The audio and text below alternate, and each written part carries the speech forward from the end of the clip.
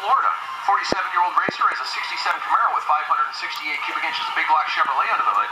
Good looking green.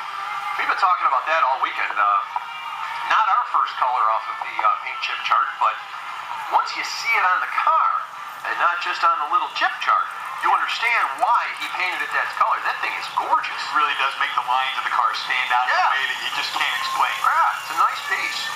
He qualified number 13, uh, 921 at 146. And Lutz, your current number two qualifier, uh, a little bit behind Gaudier, uh, 755 at 191.